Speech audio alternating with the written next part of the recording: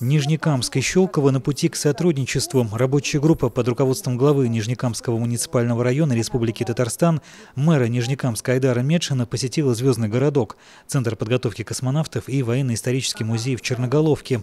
Однодневный визит приурочен важной дате – празднованию Дня космонавтики. Сопровождал делегацию глава городского поселения Щелково Рушан Махмутов. В память о первом полете человека в космос почетные гости возложили цветы к памятнику Юрию Гагарину, пообщались с членами экипажа очередной экспедиции на МКС, осмотрели действующие тренажеры и российский сегмент станции, на котором космонавты и астронавты перед полетом отрабатывают всевозможные нештатные ситуации. Делегация из Нижнекамска также посетила военно-технический музей в Черноголовке, и особенно их впечатлила вот такая летающая тарелка.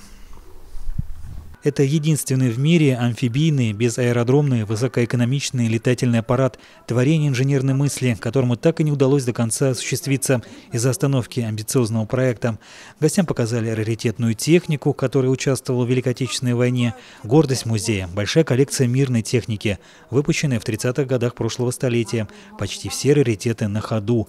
Увиденное на Айдара Мешина произвело впечатление. Глава Нижнекамского района заявил о готовности рассмотреть соглашение о сотрудничестве с Щелковским районом. Мы рассматриваем возможность и подписания а, соглашения а, о взаимном сотрудничестве с городом Щелково и э, рассматриваем возможности культурного обмена, экономических связей с тем, чтобы наши территории нашли точки соприкосновения и возможности реализации нашего потенциала. Присмотреться к Щелковскому району руководство Нижнекамска рекомендовала Эльвира Долотказина после поездки в Щелково в 2017 году на День города и района.